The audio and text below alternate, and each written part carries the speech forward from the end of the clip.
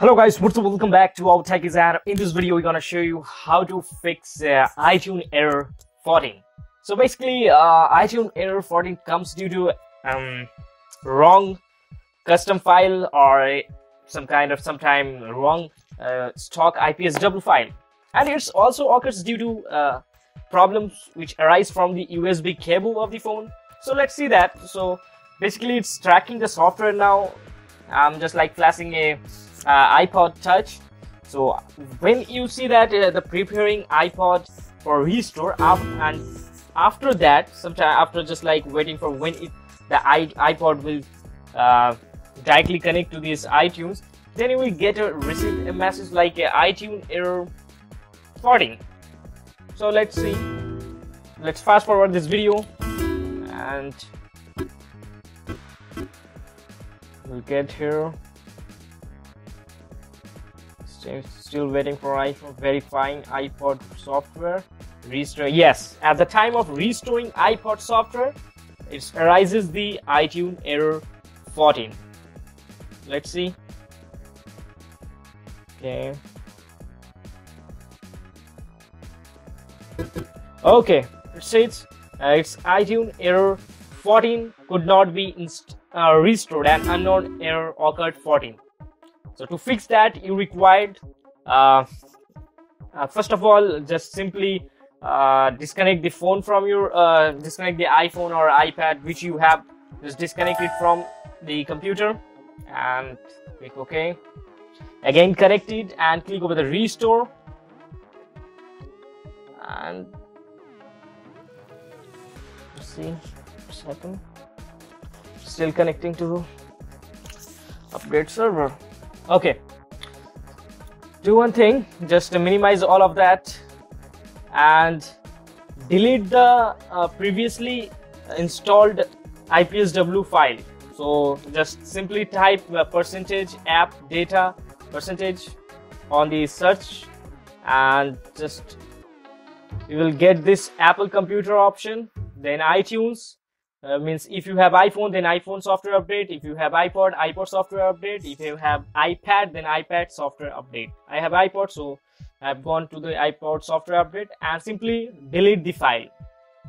Yes delete this file. And then again connect the phone to your computer. See?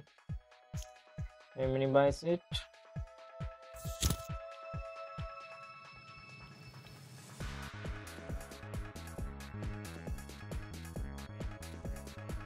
Okay.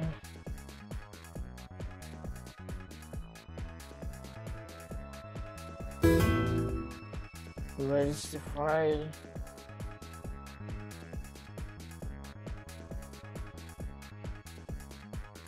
Okay, it's connecting. So it's again restore iPod. Click over it and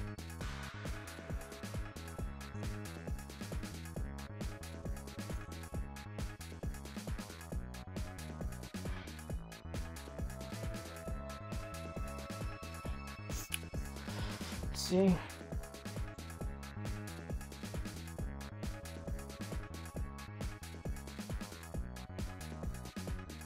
Contacting the iPod software update server.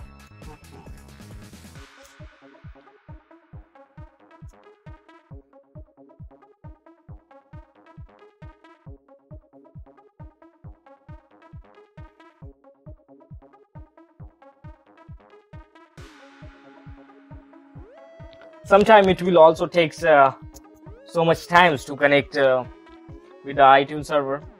Let's see.